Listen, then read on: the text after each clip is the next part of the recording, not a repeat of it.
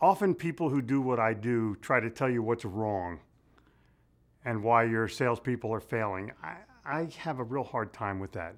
I would really rather tell you what's right or the right way or the best way.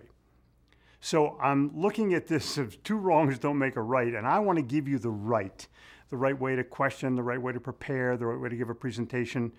This lesson is all about how to do things the right way in order to win.